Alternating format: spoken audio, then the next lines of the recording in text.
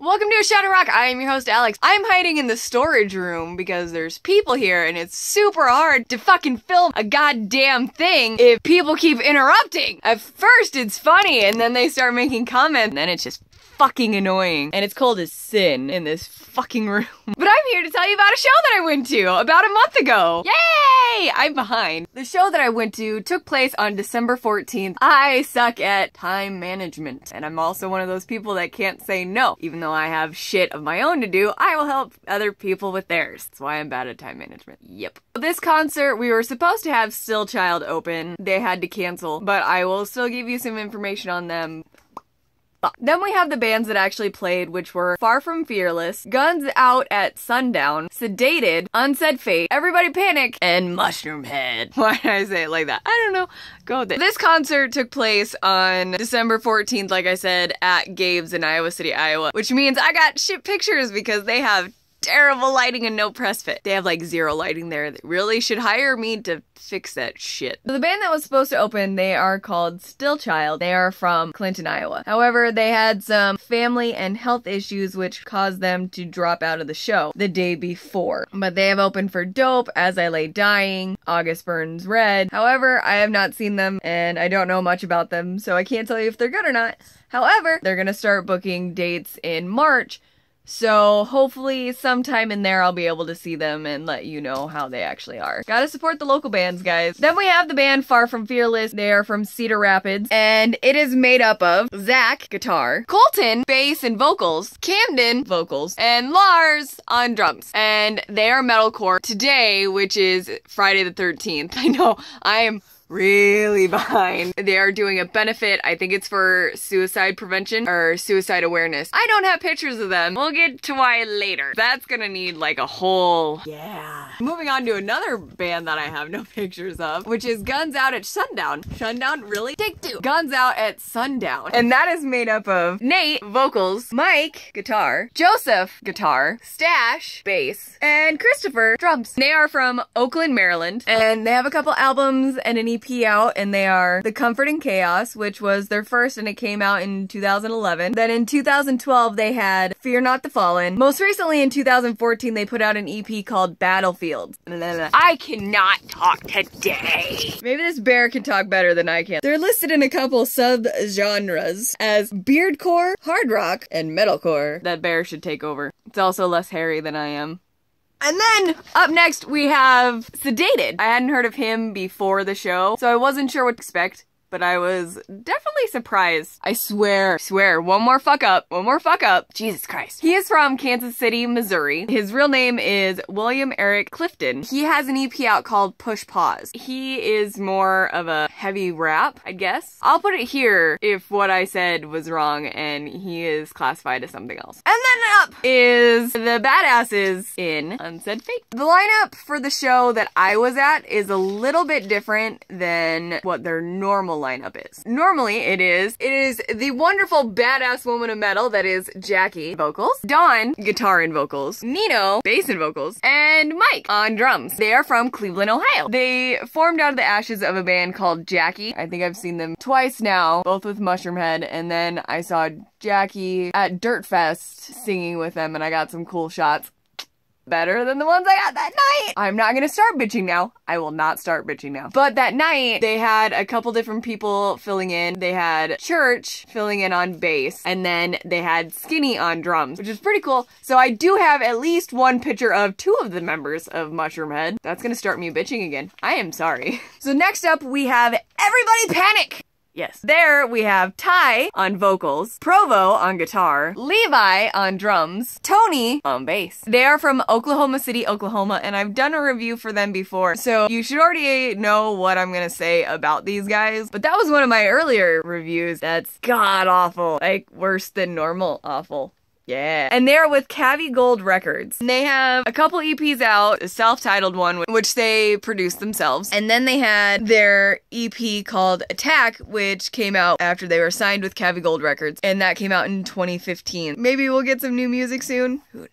And finally, we have Mushroomhead, the headliners of the night. And that is made up of J-Man, vocals, Skinny, drums, Jeffrey Nothing, vocals, Stitch, samples and water drums, Church, guitar, Dr. F on bass, and Diablo, drums. And they are from Cleveland, Ohio. They have a shit ton of CDs. They're over there. Don't look at me. Look at the CDs. Their most recent is called The Righteous and the Butterfly. I have now seen this band five times. So let's talk about the show. Still Child obviously had to cancel, so I can't talk about them. The opening band, Far From Fearless, I can't really talk about either because the venue, whose doors was supposed to open a half an hour earlier than they did, did not open doors until the band started playing. So I didn't get in until the last song of their set. Okay, this is when the bitching is gonna start. We have Far From Fearless, Guns Out at Sundown. They had to play on the floor because there wasn't enough room for them on the stage. So they had to play on the floor. There are skeletons behind me. I'm aware. These bands, I am not exaggerating when I say when I got in the front row and I was watching Guns Out at Sundown, I could not see their bassists face when he stood less than two feet from me. That's how dark it was. I have this picture here that I took with my phone after everyone cleared the stage. This venue has like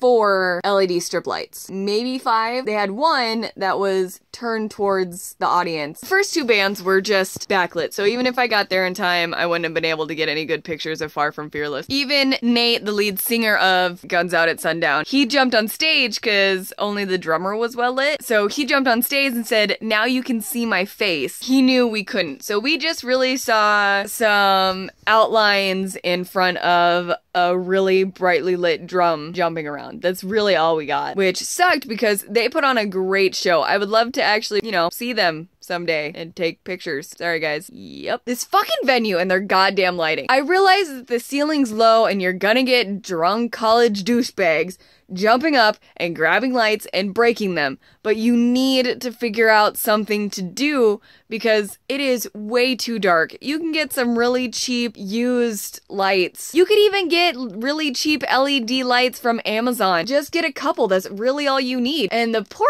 bastards who play drum at this venue, they're in the dark. It's all from the sides or the front. This stuff doesn't reach and they normally just have the lights in red and maybe one in blue. It makes it very, very hard to take pictures and it drives me fucking nuts. But also, there's no press pit, which will become a huge problem and why I have no pictures of Mushroomhead. Okay, we'll stop bitching now and we'll talk about the show. Guns Out at Sundown, I'd love to see you again and be able to actually take pictures of you. You had a great show. I should have bought your CD. I bought one, but I can't find it because someone went on a cleaning binge and my shit got moved. I'd love to see them them again. They have great sound, great energy. If only I could see them. So Sedated was up next and I had no idea what to expect from him. I honestly hadn't heard of him before. He has great stage presence. He's very intimidating. He comes out with a lot of, not rage, power. He comes out with a lot of power and you can just feel it when he hits the stage. He definitely does more rap with a heavier, almost electronic metal background. I really wasn't expecting that. It was still a good show. I can appreciate it, but it wasn't what I was expecting. So I just experienced it. It was a good time. I think that if I was seeing him with other bands, I think I would appreciate it more. I was expecting like another four piece to come out, have instruments, but instead it was tracks and then he rapped over them, which was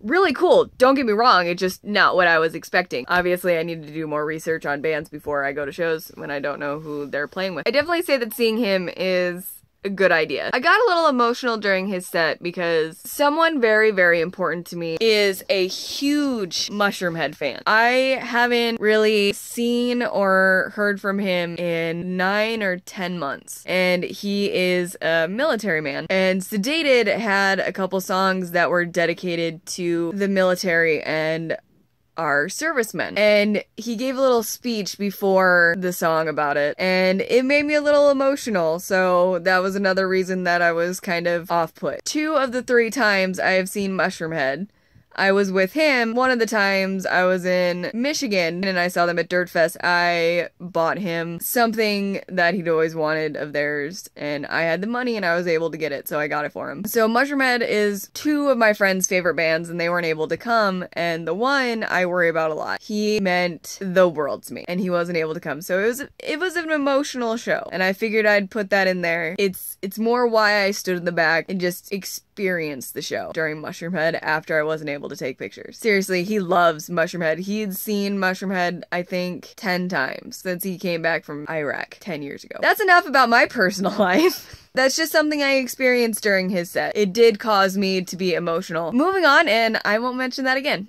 So on Unsaid Fate came on. She is amazing. All I have to say is, motherfucker standing next to me, if you are taking pictures at a show with a camera of any kind, please do not use your flash, especially when you're in the front row in front of the fucking artist and you put the camera in her goddamn face. It makes them so they cannot see. It's extremely, extremely rude. And if you were at a venue and you were in the press pit, you would be kicked the fuck out. They wouldn't give you a warning. You would be out. And frankly, I am displeased with myself that I didn't yell at you for doing it or I didn't attempt to stop you and tell you that you can't do that. Yeah, you're not gonna get good pictures because I fucking didn't. Look at those. Fuck you, man. And fuck me for not saying a goddamn word. Cause then this guy, no, I'm bitching again. This is gonna be the bitch edition. But Unsaid Fate is just fucking phenomenal. Their movement is great. They sound just absolutely fantastic. And it's so much fun. There's so much good energy coming from them. They're just excited to be on stage and you can tell. Even with the two members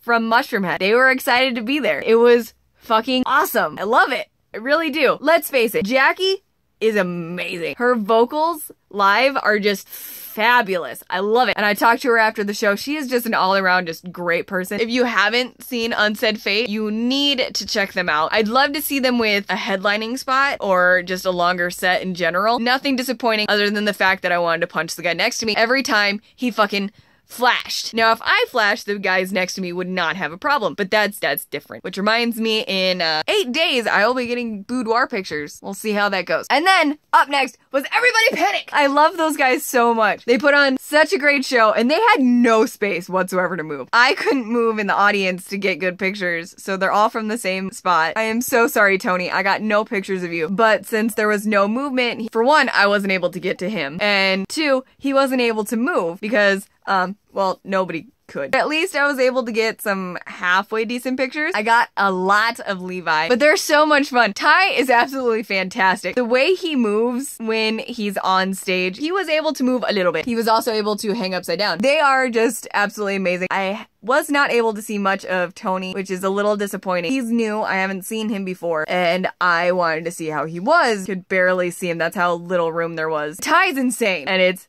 amazing. The way he moves, I love it so much. It's so great when they're able to dance and shit. He was another one that went blind thanks to the guy next to me. I'm gonna bitch about you, person. I didn't fucking stop him. Next time, I'm putting the smackdown on him. After talking to the artist, basically it's like the worst thing. A couple of them even said that they weren't able to see for like 30 seconds. We're gonna go to Mushroomhead. This venue, in order to get onto the stage, you have to go into the audience and around. So security had to push us back. I had two guys on the side of me. One was douchebag with the camera and the other was tall guy guy. And dude with the camera if you're gonna touch Jackie in the small of her back when she's wearing a crop top, so you're touching bare skin, that is not okay. If you're gonna do that to her, you need to do it to every single one of the guys coming in. Just so you know. If you're gonna do it to their female lead, you need to do it to the guys too. Don't be creepy. You can be attracted to somebody and not be creepy. super easy, I promise. After they came in, I lasted one song. The two guys next to me, my arms were stuck like this with my camera between these two guys. I physically could not move my arms. I started taking a couple pictures pictures of, I think it was Stitch on the water drums. I'm getting soaked. My camera's getting soaked. I can't take pictures. I can't move. So I last through QWERTY. That's about it. So then I pull back. I get my camera dry as soon as I fucking can. And then I just stand there and I watch and I experience the show. And they sang Among the Crows. I love that song. It's one of my favorites of theirs. No, seriously, Among the Crows. Mwah.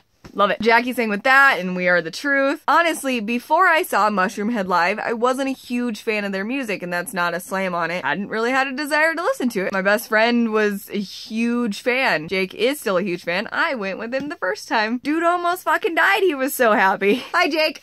Oh, I'm so fucking bad at this today. It's so long. This is gonna be like a 20 minute review. Once I saw them live, like it entirely changed how I viewed them as a band. Now I can't stop. Once I see they're in town, I have to fucking see them. Their show is absolutely fantastic. And some of my favorite songs are the ones that have the water drums in them. Have you ever seen a band that you really, really love their music and then you go and their show is shit so you don't appreciate the music as well? Or you go to a show you've never heard of the band, they're really, really good and it makes you wish that you had known more of their music so that you could really appreciate it, right? The more that I listen to their music outside of the show and the more that I go to the shows, the more and more that I appreciate it and what they do because it's amazing. And their energy, they always bring so much energy to the show. When I was at Dirt Fest, I was standing off to the side with a bunch of press and stuff and they kept pointing at me because um I was actually doing the stuff that they wanted us to do. That was awesome. I do.